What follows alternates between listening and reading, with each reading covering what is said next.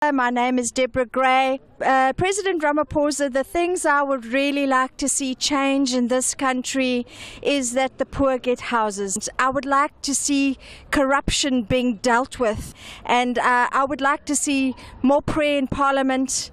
I'd like to see uh, some changes in people, crime, people being punished for crime.